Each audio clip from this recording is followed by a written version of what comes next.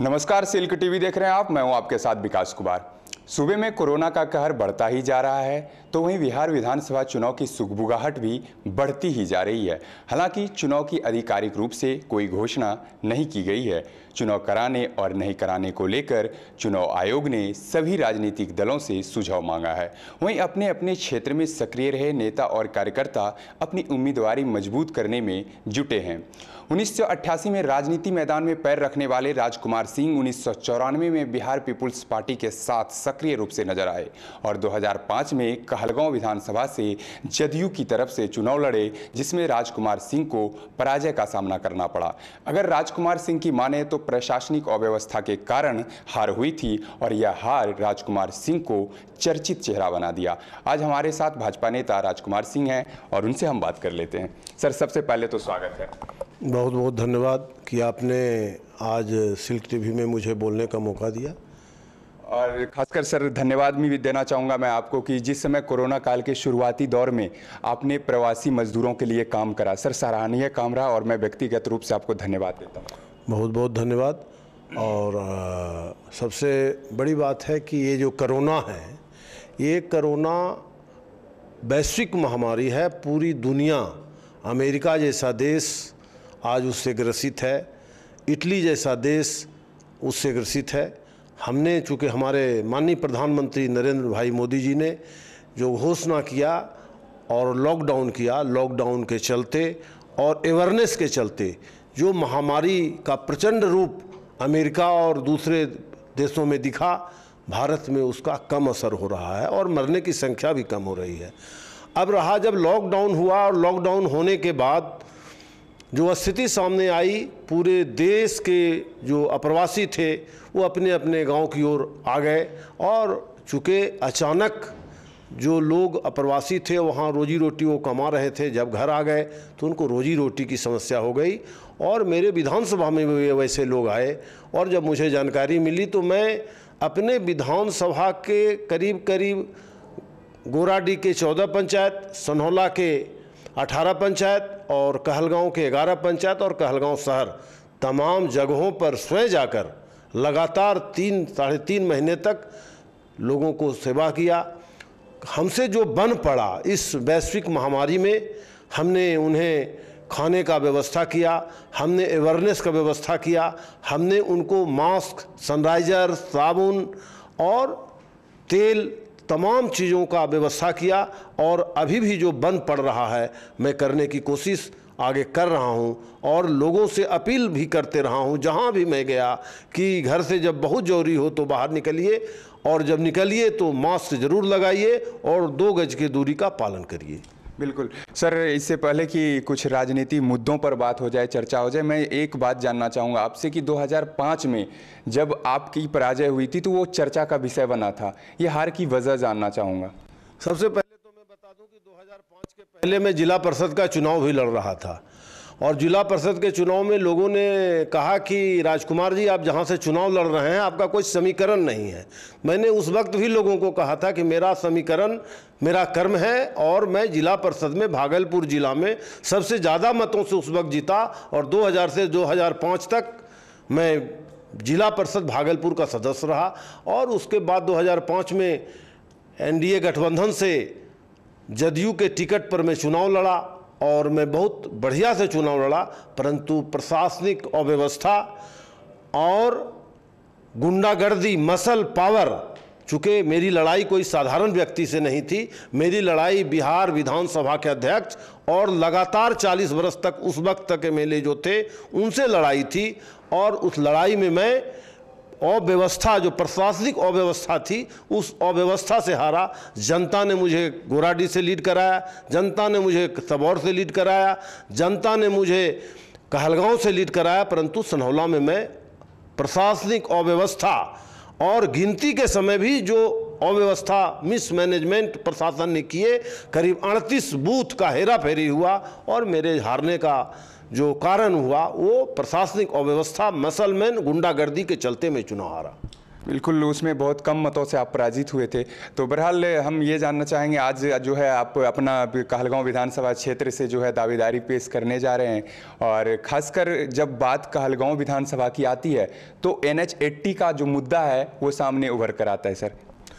दुर्भाग्यपूर्ण बात है देखिए लालू यादव का जमाना था पटना से भागलपुर आने में लगता था बारह से तेरह घंटा। तो वो तो कुछ हद तक ठीक हो गया। परंतु भागलपुर में लगता है कि हम लोग सरकार बनाए, परंतु सरकार बनने के बावजूद चूँकि वो ऐसा व्यक्ति जो भागलपुर का भागलपुर में कहलगांव विधानसभा का प्रतिनिधित्व करता है, जिसको विकास से कोई मतलब नहीं है। अगर विकास से मतलब होता तो एन की ये हालत होती, जो कहलगांव से, भागलपुर से कहलगांव की दूरी 30 किलोमीटर है, और 30 किलोमीटर की दूरी तय करने में पाँच चार से पाँच घंटे लगते हैं।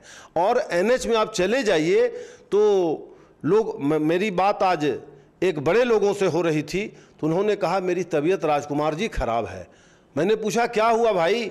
उन्होंने कहा कि, मैं गलती से पिरपैती चला गया और वहाँ से लौटा हूँ तो कमर से लेके सारा चीज़ जाम है, रोड की हालत बहुत बुरी है।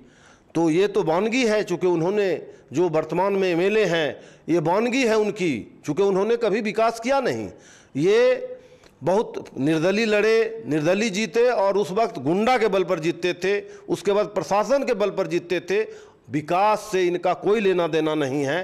कहलगांव क्षेत्र की जनता एन एच तो देख ही रहे हैं आप। एन एच मैंने पहले पीडब्ल्यूडी रोड था तो इससे बेहतर था, परंतु एनएच होने के बाद और बुरा हो गया। चूँकि हर जगह जीटी टैक्स लगता है, बिना जीटी टैक्स दिए कोई काम कहलगांव विधानसभा में नहीं होता है। तो नतीजा है कि एन का बुरा हाल है। अगर देखा जाए तो कहलगांव विधानसभा क्षेत्र की जब बात आती है तो बहुत सारे ऐसे वहाँ पर जगह हैं जो चर्चित हैं ख्याति प्राप्त हैं लोग जानते हैं उस बारे में लेकिन एनटीपीसी की बात भी सामने आती है और एनटीपीसी में जब वहाँ के स्थानीय लोगों की जो है स्थान अभी तक सुनिश्चित पक्की नहीं हो पाई है। हालाँकि कुछ ही लोग अभी तक वहाँ तक जुड़े हैं रोज़गार उनको मुहैया कराया गया है बहुत सारे लोग वंचित हैं।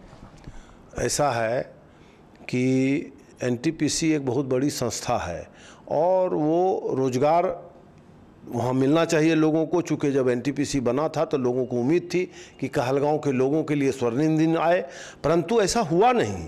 क्यों नहीं हुआ, इसका भी कारण जानिए। लोग एनटीपीसी की बिजली से दिल्ली चकाचौंध करती है, बिहार चकाचौंध करती है, उत्तर प्रदेश चकाचौंध करती है, परंतु उसके राख का जो विपरीत परिस्थिति है, अगर आप जाएँगे, देखेंगे तो लगेगा कि रात में अगर सोएँगे तो सवेरे अपना नाक साफ़ करेंगे तो आपके नाक में से करीखा आएगा।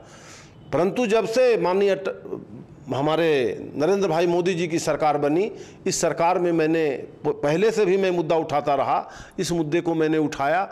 तो उस पर जो है रख रखाव की व्यवस्था हो रही है और कोशिश किया जा रहा है कि राख से जो छाई है उससे निजात मिले और निजात का व्यवस्था किया जा रहा है। रहा बात आपने बहुत बड़ी बात कही कि स्थानीय लोगों को नौकरी नहीं मिली। परंतु मैं आपके माध्यम से कहना चाहता हूँ कि अस, अस, हमारे सरकार के बाद ही 311 लोगों को नौकरी उसमें दी गई है और परमानेंट नौकरी दी गई है। जो कुछ बचे हैं तो जो कॉन्ट्रैक्टर वहाँ हैं, उनके यहाँ उनको रख करके उनको काम दिया जा रहा है। और रहा सवाल एनटीपीसी के अधीन तो एनटीपीसी के अधीन उनकी कुछ कमी है, वो कमी को पूरा करके हम लोग लगे हुए हैं और माननीय हमारे प्रधानमंत्री जी से बार बार पत्राचार के माध्यम से हम लोग कोशिश कर रहे हैं कि जो बचे हुए लोन हॉस्टी हैं, वो तमाम लोगों को नौकरी मिले।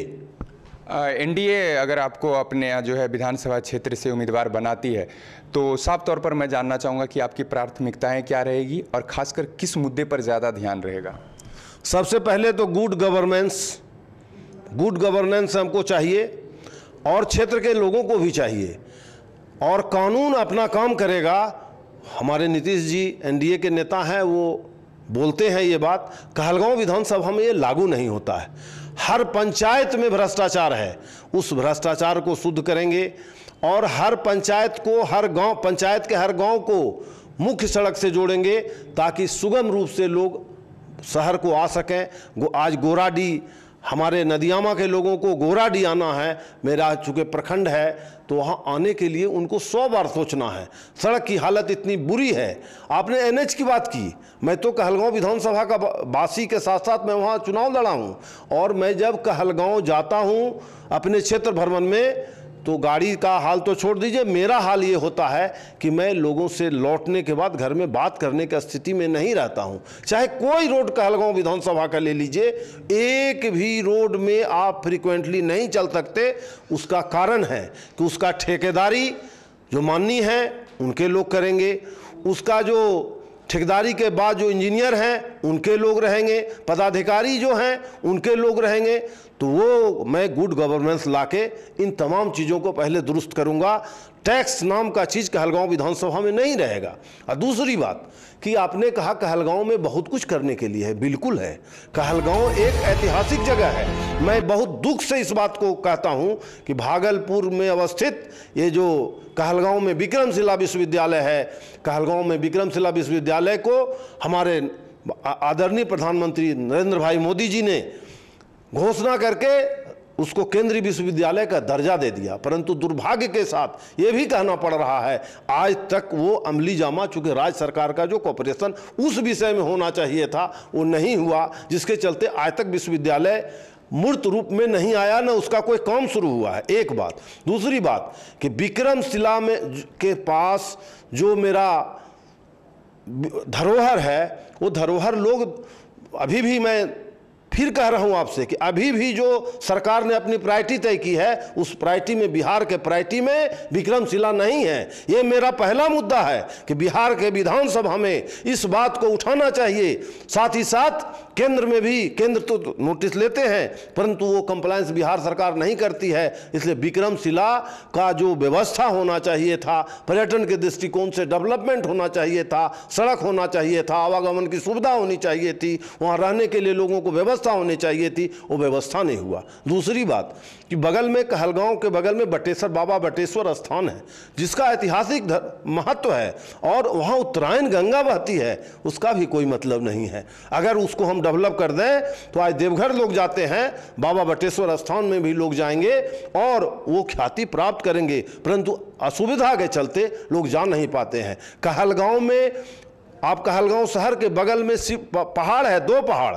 आप वहाँ भी शिव कुमारी पहाड़ के नाम से जानते हैं और शिव कुमारी पहाड़ के पास जो लोग नाव से जा सकते हैं। परंतु अगर हम रोप वे लगा के उसको चालू कर दें और दोनों पहाड़ को जोड़ दें तो पर्यटन ही नहीं इस ऐतिहासिक धरोहर का एक रूप कहलगांव में दिखेगा और लोगों को पर्यटन के बढ़ावा देने से उद्योग मिलेगा, अनेक लोग को रोज़गार मिलेगा। ये सब मेरे प्रायरिटी में है। मेरे प्रायरिटी में कहलगांव में कोई भी व्यक्ति अगर जन, मैंने हमको पार्टी ने वहाँ से नुमाइंदगी करने का मौका दिया और जनता ने मुझे चुना तो कहलगांव में लगेगा कि सरकार मेरी है मेरे घर तक चल के सरकार को काम करना है। साहब नहीं रहेंगे, जनता साहब, जनता बाबू रहेंगे और जनता के बात को साहब जाके उनके घर तक सुनेंगे। ये काज करने का मैं काम करूँगा। ये अच्छी बात कही आपने कि वहाँ पर कालगांव विधानसभा क्षेत्र में देखा जाए तो काफ़ी पर्यटन स्थल हैं जिसको सजाया जाए, संवारा जाए तो लोगों को रोज़गार मुहैया हो सकता है। बहुत कम शब्दों में हम चाहेंगे, आपका आखिरी सवाल होगा मेरा, कि कहलगांव की जनता जो है कहलगांव विधानसभा की जो जनता है, उनसे क्या अपील करना चाहेंगे चाहेंगे, क्या कहना चाहेंगे सर्वप्रथम तो जो ये महामारी कोरोना का चल रहा है, मैं कहलगांव विधानसभा क्षेत्र की जनता से अपील करना चाहता हूँ कि इस महामारी में बहुत ज़रूरी हो तो आप बाहर जाएँ और अगर बाहर जाएँ तो मास्क का उपयोग ज़रूर करें। आप दो गज की दूरी ज़रूर बनाएँ, साथ ही साथ साफ़ सफ़ाई रखें और सौहार्द का वातावरण कहलगांव विधानसभा क्षेत्र में बना रहे, यही मेरी अपील है। तो हमारे साथ थे भाजपा नेता राजकुमार सिंह, जो कहलगांव विधानसभा क्षेत्र से जो है अपनी दावेदारी पेश करने जा रहे हैं और इनसे हमारा बातचीत कैसा लगा, नहीं लगा, आप हमारे कमेंट सेक्शन में जाकर हमें ज़रूर बताइएगा। और ख़ासकर राजकुमार सिंह से अगर आपकी कोई सवाल हो, आपका कोई सवाल हो तो आप ज़रूर पूछिएगा। जब भी मैं कभी इंटरव्यू के लिए, साक्षात्कार के लिए मैं जाऊँगा, या तो फिर राजकुमार सिंह जी मेरे पास आएँगे तो आपके सवाल को हम इनके पास ज़रूर रखेंगे। मेरा नाम विकास कुमार सिंह है, कैमरा के पीछे सलमान अनवर मौजूद हैं। हमारा ये वीडियो देखने के लिए आपका शुक्रिया।